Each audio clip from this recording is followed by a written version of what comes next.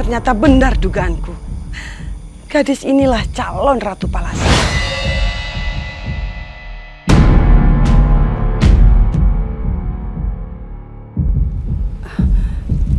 Um, Citra, lakilah kau pulang. Biar Ama yang mengantar kau pulang, ya. Mari, Ama antar. Oh, Bu Dokter. Gadis, ada apa? Ada pasien, Bu Dokter. Iya dok, tolong teman saya dok. Kakinya terluka dan mengeluarkan banyak sekali darah. Saya tidak bisa membawanya ke puskesmas. Iya ya, uh, Ama, saya pamit dulu ya. Saya ada pasien. Tapi dokter Citra perlu penjagaan saya. Saya nggak apa-apa kalau Ama saya bisa jaga diri. Saya sekarang harus menjalankan tugas saya dulu. Permisi Ama.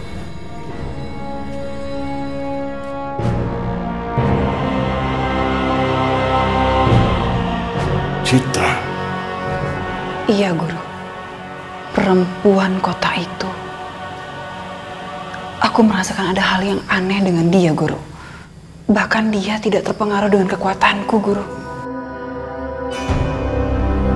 Apa mungkin tanda-tanda munculnya kekuatan ketujuh semalam berasal dari perempuan kota itu?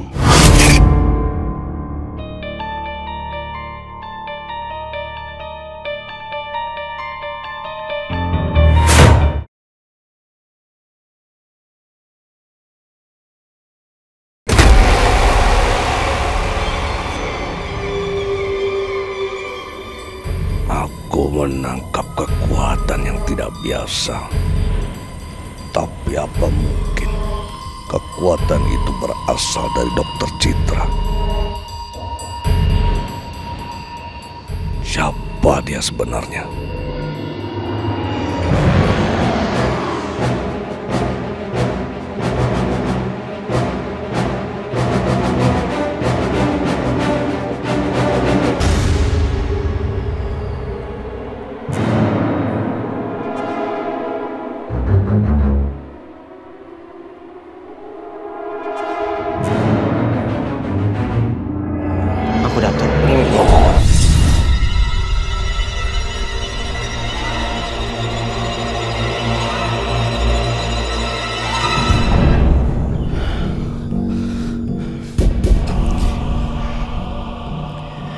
Ada apa Angku Datuk memanggil saya?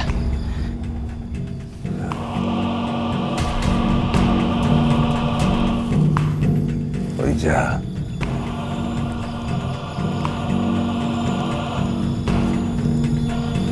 Aku sudah mempertimbangkan baik-baik. Hmm. Aku akan menurunkan, mewariskan harimau putih pada kau.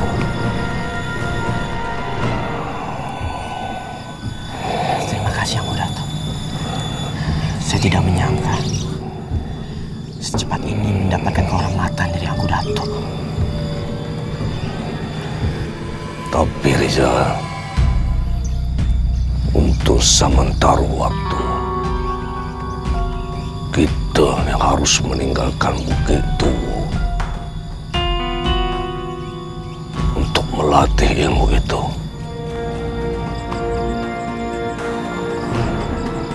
Baik Angku Datuk. Saya mengerti.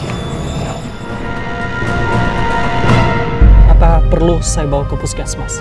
Tidak usah, tidak. Itu sudah saya uh, obati. Nanti akan saya berikan antibiotik ya.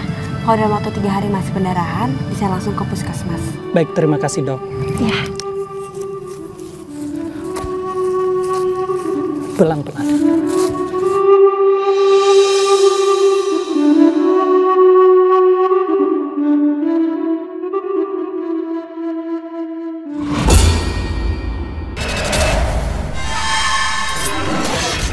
Kenapa perasaanku tiba-tiba nggak enak? Sepertinya akan datang bahaya.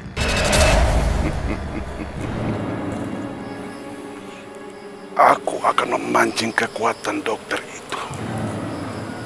Apakah benar dia keturunan ketujuh yang selama ini aku cari?